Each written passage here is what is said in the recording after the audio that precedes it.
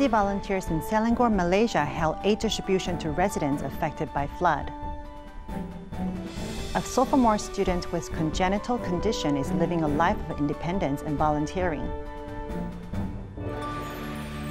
Welcome to Da Ai Headlines. I'm Jenny Lee. Thank you for joining us. Malaysia entered its rainy season at the end of the year, and severe flooding occurred in many areas of Ampang, Selangor. Tzu Chi volunteers immediately began distribution after disaster survey to provide timely assistance to flood survivors. Keluar, keluar. The heavy rain came quickly as Malaysia has entered its rainy season. In Ampang district, which is located in the low-lying area, cars and houses were all soaked in water. Makcik cakap sampai mana ai? Sampai mana? Oh, lebih kurang 4 kaki lebih ah. At 8:30 in the evening, the water level has risen very high already, so all the furniture in the house is damaged. Habis semua. Habis, habis. Dua, saya punya dua lori. Barang buang. Malam sekarang tidur, semua tilam sudah habis rendam. Pakai itu tutup. Toto. The vegetables in the farmland in which Behe relies on are all damaged, worrying her very much. At the time, I felt terrible. I couldn't think anymore because the vegetables I grew were all gone. I couldn't help my husband make money.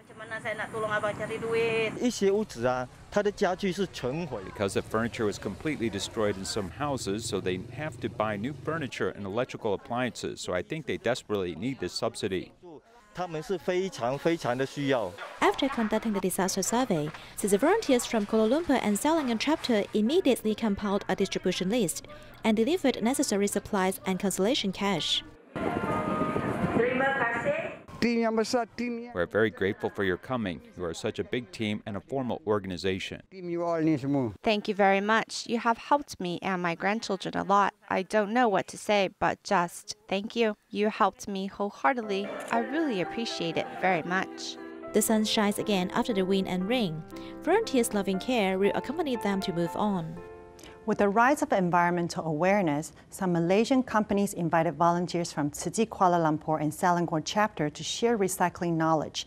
They hope that this training will reinforce the concept of cleanliness at the source. tissue paper, huh? and then the white paper definitely can be recycled. lah. This one, especially this one, this one cannot. White paper, plastic lunch boxes, wrapping paper are all thrown into the office trash can without being sorted. Yellow, butter, omada, butter. Ten. Ten single-use plastic for one simple lunch. In order to raise recycling awareness, the company invited volunteers from Tzu Chi's Kuala Lumpur and Selangor chapter to share their knowledge. Ideally, every single staff, if they knew about this information, it will better support these activities in our office because they will gain a better understanding and they will be uh, performing it from the heart. We look forward to such a company wanting to share this recycling knowledge. At first, it will be like they implemented this way, and I hope it will bring about another good influence on other companies. You don't buy, you don't spend and you don't use more resources. I wasn't expecting the training to be so helpful. It really helped to increase our awareness. It really helped them think about how to do more environmental protection environmental protection. We think as soon as we eat something, we can throw away the plastic, but it really stays with us for a long time. Some even take 100 million years or more to decompose, so this is a lot of this knowledge we have gained. I hope that after this, I would, uh, I'm able to put what I have I learned today and put into good use, whether to start off with my colleagues or at home and to bring it to other people.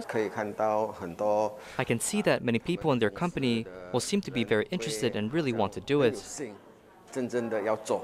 It is hoped that this promotion, the environmental protection within enterprises, can contribute to the future sustainability of the Earth. Good health starts with one's diet. Chi volunteers in Malaysia promoted a 21-day health challenge. This time, they came to Kuantan to promote a plant-based diet for 21 consecutive days. The activity allows participants to eat a healthy diet and experience the power of vegetarian diet. It's the first time this restaurant owner prepared a plant based lunchbox as he quickly uses a wok to cook these ingredients. At the beginning, we were afraid of this food as we were not sure because we haven't tried it before. After that, we have been cooking it and experimenting with different cooking and materials and tasting it. After some experimentation, it was quite good.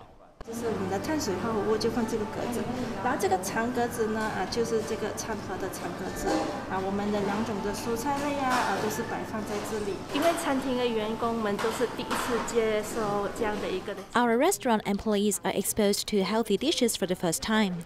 we made a checklist to let them know where each dish should be placed.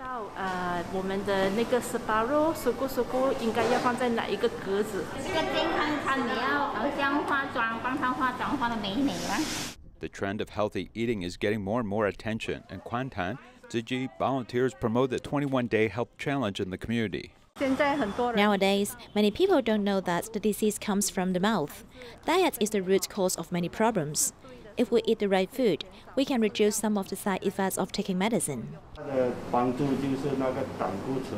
The biggest help is that cholesterol has decreased a lot. It also helps reduce blood pressure.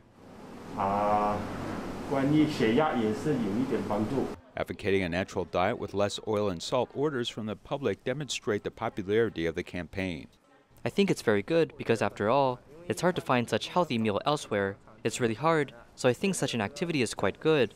If there's another event, we would also be happy to deliver it. 好，我们恭喜梁广成先生哦，他获得了最佳体重改善奖哈、去拿那个 doctor 的 When I got a report, I found that every health indicator was declining, which means I saw great health improvement. Studies have shown that 21 days can change a person's habits. There's hope that by participating in a plant based diet, participants will not only cultivate good eating habits but also improve their health. In the Philippines, in order to reach the herd immunity by the end of the year, the government set up large-scale vaccination stations in the coliseums. TIMA members have been assisting with the vaccination since April this year. The medical personnel of Tzu Eye Center also came to join the ranks of vaccinations. The Coliseum has turned into a large vaccination station. Alan, who came to receive vaccination with his wife, filled in the form carefully. But in fact, a few months ago, his vision was so poor that he could not even sign his name. Pero nung na-operan ako, I'm really happy after the cataract surgery. I feel hopeful again. My life won't end here. pala matatapos sa ganito. Alam ko ibang At Tzu Eye Center, we learned that Tzu is doing vaccination campaign here, so we seized the opportunity to come get the booster shots. Team members not only provide medical treatment, but also undertake the responsibility to fight the pandemic. Since April this year, they have been helping the government with its vaccination drive. We will find time for our patients. If we help one, we help, we help our neighbors, our help bega- begin to expand. Not only children who are afraid of injections, but also the elders. The medical team worked with the son to soothe his mother's emotion before getting the shots finally. Surprisingly, it actually feels good. It did not hurt at all. Some people are scared of injections, just like my mother, so we are really grateful to the medical team for their patience and kindness. In a parking lot downstairs, this drive-through vaccination service is specially designed for the elderly with spinal fractures and limited mobility. I'm super grateful because given the condition of my parents, it is really difficult for doctors to come here to vaccinate them. Since this humanistic service has attracted a local media to come for interviews, it is hoped that by taking the lead to serve the public, everyone will be inspired to do good.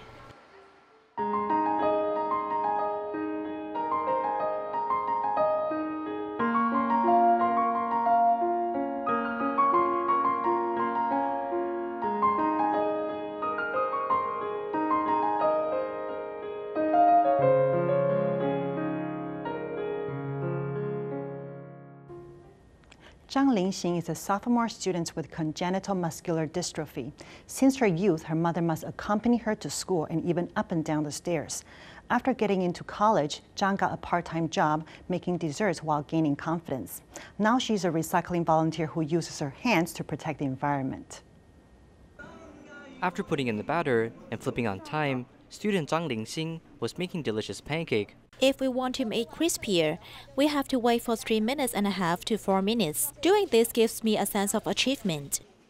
Baking desserts, student Zhang Lingxing is filled with a sense of achievement. She suffers from congenital muscular dystrophy, and with a body weight of 32 kilograms, she must be assisted by her mother in school. I don't have enough strength, so I can't participate in dream courses.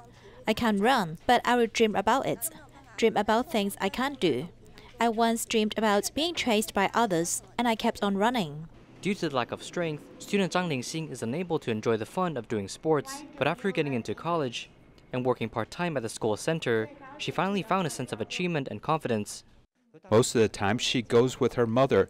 They both look very energetic and filled with hope. Now, when she's at school, she feels motivated to do things. Now I can lay my hands off, unlike when she was in elementary, middle, and high school, when I have to take care of her all the time. Zhang Lingxing's growth has made her mother proud. Two years ago, her father passed away. As their mother and daughter pair face challenges in life, gladly, Chi volunteers accompanied them in their toughest moments. After my father passed away, and because we got to know Chi, I will volunteer at recycling stations. Volunteering is a very interesting thing. I can learn a lot during volunteering. Though student Zhang Lingxing's body is weak, she still loves to do recycling, protecting the environment with both of her hands. Every year, the Ceylon olive trees in Hualien City University Elementary Department campus always bear many fruits. The teachers taught students how to pickle olives, and the students enjoy a natural science lesson on also healthy snacks. In December, in the campus of Hualien City University's elementary department, the olive trees were full of fruits.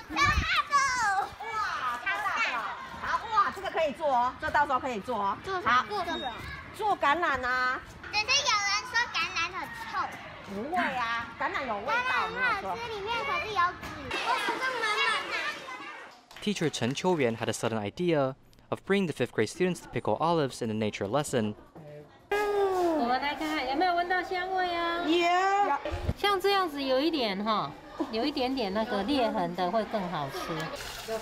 Senior students spent their spare time to wash the olives and soak them in hot water for two hours. The procedure was repeated twice. Although it was exhausting, the students were very happy. Science can really be practiced in daily life. Using hot water to get rid of its astringent taste, and then sugar to pickle it for the preservation. The method of pickling was passed down to all students of the school so that everyone can taste this healthy snack. Originally, it was only our class working on it. Later, I thought that we should let all children in the school to have a chance to taste the emerald of the campus. After it's done, it's not as sour or astringent as before. It won't be too sweet as well. In fact, Ceylon olive does not belong to the olive family, but they have similar nutrients. Olives are usually rich in polyphenols, vitamin E and iron. It also has an antioxidant effect.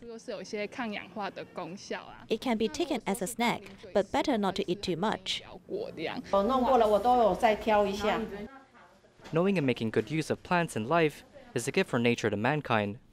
To protect the safety of children going to and from school, a group of parents, teachers, and students often stand guard near schools' intersections. Because of recent accidents, it has prompted relevant traffic safety amendments, especially the speed limit regulations near elementary school grounds. Let's have a look at the peak hours around Guandu Elementary School in Taipei City. At around 7 o'clock in the morning, the Section 4 intersection of Zhongyang Love Road, which is the only way for Guandu Elementary School students, is always busy. With seven years of experience in traffic guard, volunteer Huang Shenyao has his own set of philosophy. We won't let the students pass as soon as the red light is on. We'll make a longer whistle to stop the vehicles, then let the students pass. By doing this, we can prevent the vehicles from running the red light, which is very dangerous. After confirming that all vehicles are stopped, the traffic guards will walk to the middle of the zebra crossing, and when the vehicle turns, they will not be hit. But there are still unexpected issues. There will often be parents with their children crossing the road here. We have told them not to do that many times, but they don't listen. Will threaten the safety of school children and traffic guards. That is a so called inner wheel difference when the big vehicles turn right or left with the green light. Like Japan, its speed limit goes down to 20 to 30 kilometers in school districts. Yet, we rarely seen any notice about coming near any school district, right? To protect the safety of traffic guards, take Taipei City as an example. It offers one or two half-day guidance training courses each year to teach traffic safety and command regulations. Basically, teachers won't take our courses because they don't have time. I also think that it is better for teachers to be responsible for student safety on campus. In the past, we used to handle some dispute between traffic guards and drivers. Traffic guards needs to be bear legal issues alone. This group of moms and dads contribute their love before going to work, as they also need to always pay attention to the hidden traffic risks around them. It is hoped that the government should amend the laws as soon as possible to protect them. 40-year-old Lin Xiuping is a practicing veterinarian. She brings along her three children across counties and cities to do ligation for stray dogs and cats.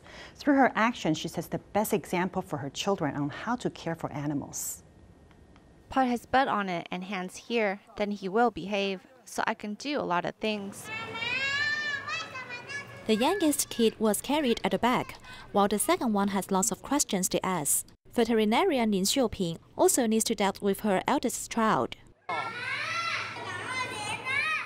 In fact, the three children are all raised up like this. They followed their mother to the remote areas to help stray dogs and cats for 14 years. I'm at work, though I also raise my children by myself. She's a licensed veterinarian. It normally takes half an hour to neuter a dog, but Lin Xiuping takes less than 10 minutes to do that. Hook gently, don't be too strong.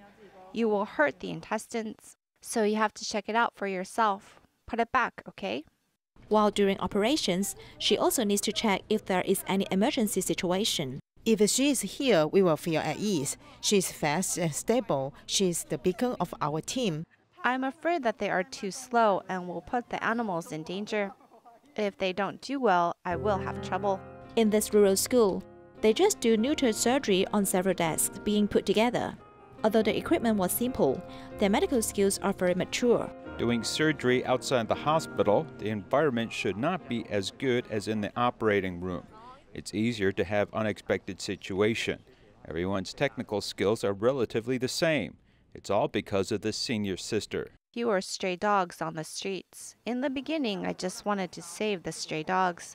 So I studied veterinary in college, but then I found that it is too difficult to save all as there are too many.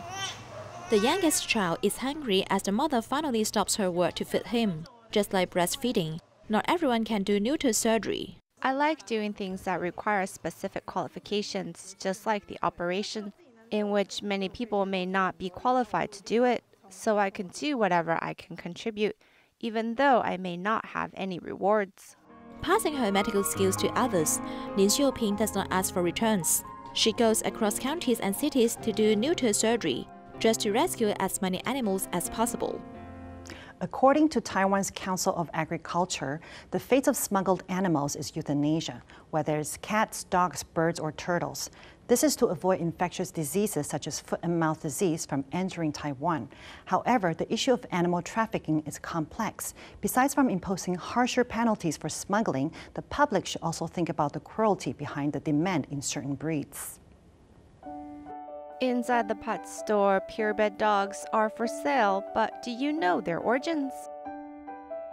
海巡人员全副武装登船，在船舱甲板内发现一笼一笼的猫笼。Back in August, 154 cats were smuggled in from China, and when the cats were confiscated, they were put down the very next day, which spurred much discussion. Even after quarantine, these cats could still carry diseases due to the long latency periods of viruses, which could pose a major threat to pets and farm animals in Taiwan.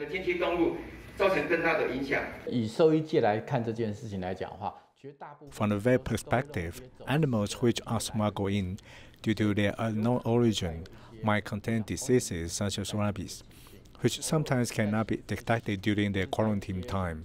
But once it lands in Taiwan, it can cause such a huge problem domestically. This veterinarian says most of Taiwan's vets have very little experience with rabies. Thus, if a smuggled cat came in with symptoms of it, it's entirely possible they might not diagnose it right and cause an outbreak. However, Chen Jizhong, the head of the Council of Agriculture, says he's taking responsibility for the decision to euthanize the seized cats because the policy to deal with smuggled live animals belongs to the Taiwan's executive yuan. In other words, whether in the Wildlife Protection Act, customs anti smuggling regulations, or regulations on prevention and control of animal infectious disease. There is no mention of how to deal with confiscated animals which are still alive. The Council of Agriculture of the Executive Yuan issued a related policy in 2017, but it leaves room for interpretation. 它只有规定说 it states that if the administrative unit confiscated smuggled merchandise, if said merchandise was perishable, what they should do, and what they should do if not perishable. It gave the administrative unit the right to handle it accordingly. However, the words must destroy is not part of the policy. 这四个字的，呃，这个论述上，法条并没有这样论述。 most people wonder why can't the cats go into quarantine, then adopted or placed in legitimate locations. The fees associated with that might cost up to 5 million NT dollars. This includes the manpower to take care of the cats in quarantine, the location rental fee to temporarily house the cats.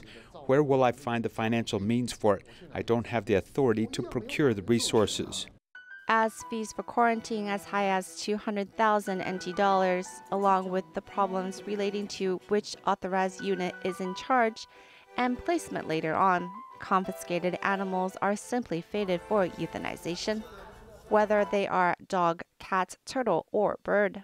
Stopping the act of smuggling is a must. That's how the foot and mouth disease came to affect our farm pigs as foreign pigs were smuggled into Taiwan. If businesses are importing these illegal cats and dogs into our country, even if they are legal business entities, the government should have some sort of penalty imposed on them for these illegal acts.